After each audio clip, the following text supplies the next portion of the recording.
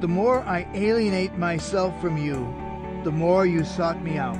You were the tender and pampering father who never tired of supporting and embracing your beloved son, St. Eugene de Mazenod, founder of the Missionary Oblates of Mary Immaculate.